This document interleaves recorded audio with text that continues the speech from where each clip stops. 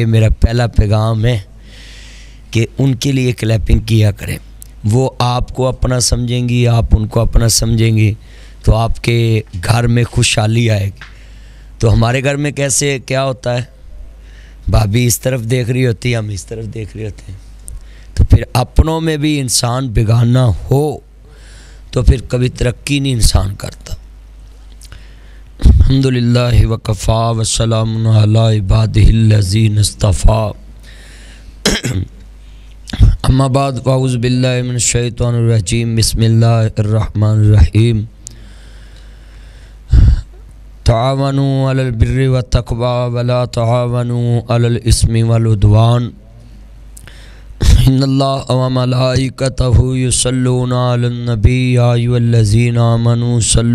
वसल्लमु तस्लीमा। अल्लाहुम्मा सल्लि अला मुहम्मद व आलि मुहम्मद, कमा सल्लैता अला इब्राहीम व अला आलि इब्राहीम, इन्नका हमीदुम मजीद। अल्लाहुम्मा बारिक अला मुहम्मदिन व अला आलि मुहम्मदिन, कमा बारकता अला इब्राहीम व अला आलि इब्राहीम, इन्नका हमीदुम मजीद।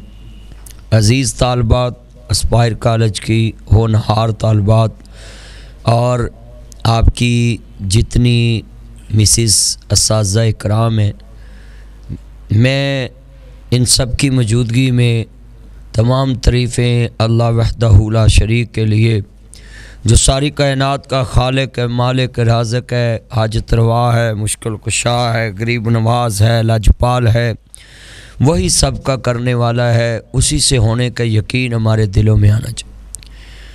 इस सबसे बड़ी हमारी औरतों में एक बीमारी फैल चुकी है। ये कहती है, हमारे घर में साया आ गया। ये साया पता क्यों आता है? हमारे घरों के जो कमरे खाली रहते हैं, उसमें हमने कुरान नहीं कभी पढ़ा, सूरत बकरा की तलावत नहीं कभी की। फिर हम कहते हैं, जी, बस मुझे किसी ने कुछ जादू कर दिया है। ज़ाहिर है, आप खुद कुरान नहीं पढ़ती तो फिर किसी ने तो कुछ करना ही है।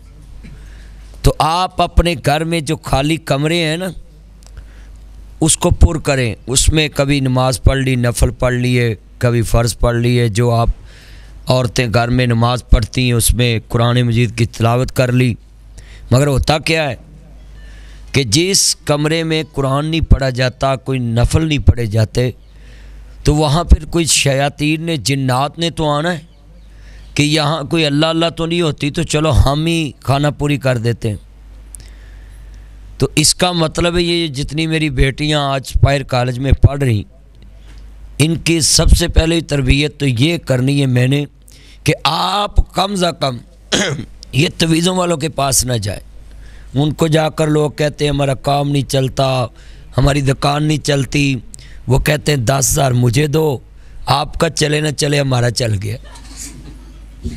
ऐसे ही है तो और बंदे बेचारे काम करते रहते हैं औरत पैसे तवीज़ा दे देंगी हाँ जी, मैं अपनी बेटियों से ये सबसे पहले इसलिए बात यहाँ से शुरू की है, क्योंकि मैं थिक्स की बात करता हूँ, अखलाकियात की बात करता हूँ, और लोगों को मोटिवेट करता ही मुआशरे पे, जो मुआशरा ठीक हो जाए सहाबा कराम जो मदीना पाक में थे ना, लोग उनको देख के क्यों कलमा पढ़ते थे? क्या उनमें कोई जादू था? नहीं।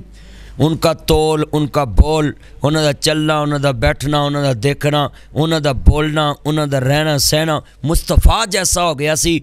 हम सिर्फ़ महफिल नात करते नबी नबी सारा जग करता है, अपने अपने रंग विच करता है, मगर जो नबी करता हो कोई कोई करता है। हम कब तरक्की करेंगे? लोग हमें देखकर कब कलमा पढ़ेंगे? जैसे हमारे नबी ने किया, वैसे हम करेंगे तो लोग हमें कॉपी करेंगे। लोग हमें देखकर मुसलमान, मिसाल के तौर पे, आपके घर में कोई क्रिश्चियन काम करता है, इधर कोई क्रिश्चियन पढ़ता है तो आप उसके साथ अच्छे अखलाक से पेश आएँ। उसके पास के कभी कोई पिन ना हो कभी कोई उसके पास कोई चीज़ ना हो तो फ़ौर मेरी मुस्लिम बेटियाँ अपनी चीज़ें उसके आगे ढेर कर दे, ताकि वो बच्ची घर में जाकर बताए कि मुस्लिम बेटियों का ये अखलाक है। वो उनका अखलाक नहीं, उनके नबी का अखलाक है, उसके नबी की बेटी हज़रत फ़ातिमा तुजारा का अखलाक ये है। वो कापी करती हैं हज़रत फातमा तो ज़ारा को। मगर हम, हमारा क्या हाल है? असी तो घर च भी होंने ना तो भाभी ने वेख के कोई चीज़ लिखा लेंदियाँ ने। वो भाई के लिए भी मुसीबत बनती है, फिर सारे घर के सुकून के लिए भी मुसीबत बनती है। अक्सर हमारी बेटियों का यही हाल है घर में। और भाभीियों का भी यही कसूर है। वो भी इस स्टेज से गुजर के गई होती हैं। वो अपनी भाभी से अच्छा सलूक नहीं करती तो फिर वो आगे कहती हैं अच्छा हूँ मैं बदला लेना ऐसे ही है ना? हूँ सारिया चुप ने कि मदनी साहब तो घर दियाँ गल् सीधियाँ करी आते तो मैं तो इसलिए करता हूँ कि आप समझ जाएँ।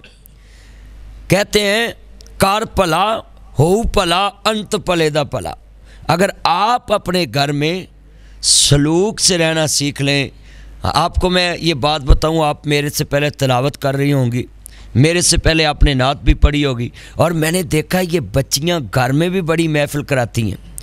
और मैं जब देखता हूँ ना, घर में औरतें महफ़िलें कराती हैं, हजूर की तब बड़ी शरीफ होती हैं। बस नात खानी अभी ख़त्म होती है, फिर चुगलियाँ शुरू। तो क्या फ़ायदा उस नात खानी का कि आपके अंदर वो चेंज नहीं आया?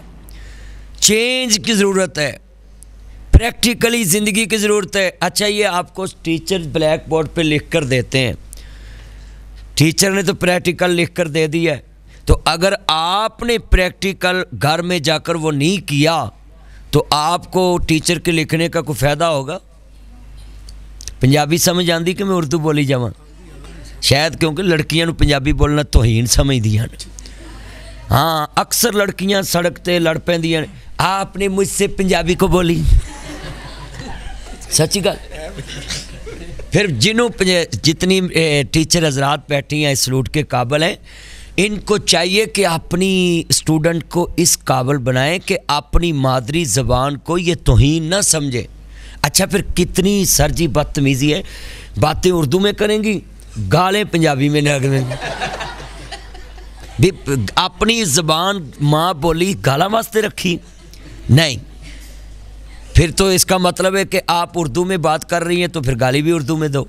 तो गाली तो देना ही वैसे गला। गाली देने वाला मुसलमान जो है वो फासक, फाजर, गुनागार हो जाता है।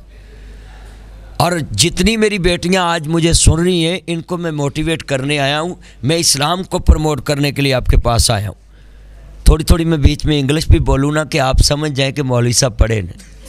क्योंकि साढ़े च पंजाबी जो बोले, उन्होंने कख नहीं आता ये बड़ी मुसीबत है। हमारी कौम में आप रेडी फल लैन जाओ ना उन्होंने थोड़ी जी इंग्लिश थोड़ी जी उर्दू बोलो वो समझेंगे कोई अफसर है कोई पढ़िया लिखा है।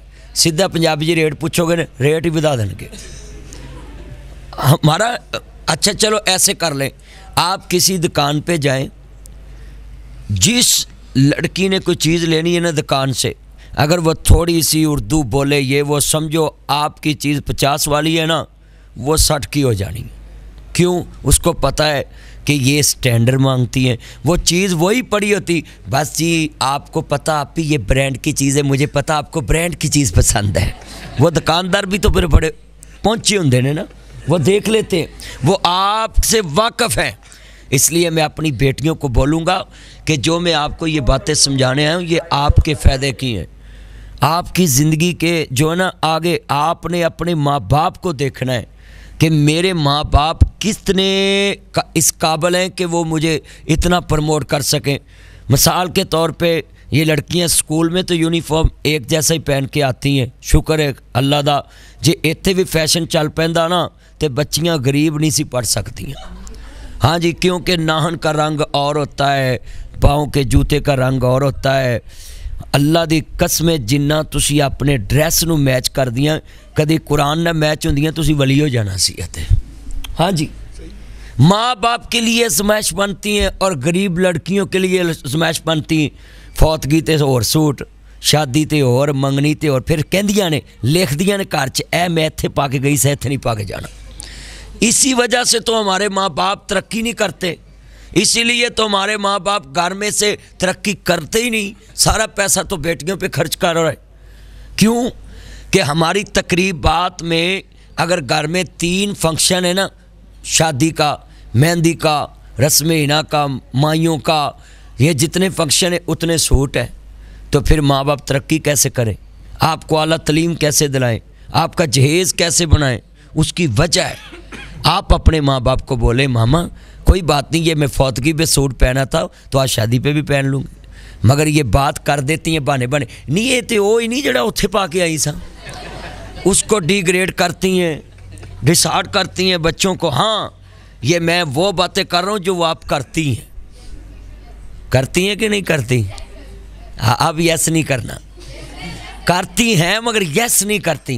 क्यों? ये मेरी बेटियाँ ये मेरी बहनें, ये मैं अपनी बेटियों को इसलिए समझा रहा हूँ कि मैं जिस तरह अपनी दो बेटियों की तरबियत करता हूँ, मैं आपको भी अपनी बेटियाँ समझता हूँ। मैं चाहता हूँ तुम जहाँ जाओ लोग कहें कि ये स्पायर कॉलेज की बेटियाँ हैं, इनको लोग जब जी ऐसी नज़र से देखें कि कहें कि वो अखलाक में आला, वो सूरत में आला, वो सीरत में आला, वो करदार में, ये सूरत की कोई इज़्ज़त नहीं है।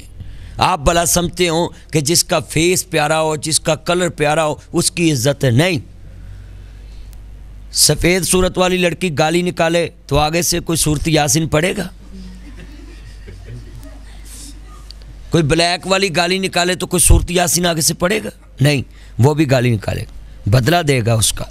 मैं आपसे बोलता हूँ कि इस सूरत की कोई इज़्ज़त नहीं है। आपकी सूरत की इज़्ज़त अगर फेस की कराना चाहते हैं ना, कि आपको जब कोई फेस करे तो इज़्ज़त से बोले तो आप अपनी सीरत अच्छी बना लें। अपनी ज़िंदगी अच्छी बना लें।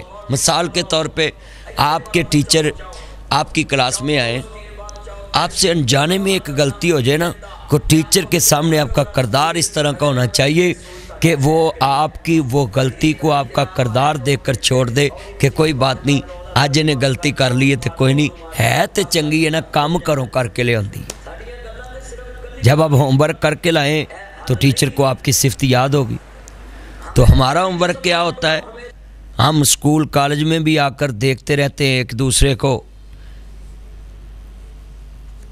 जितने बैठी हैं मेरी बच्ची ये लिख लें।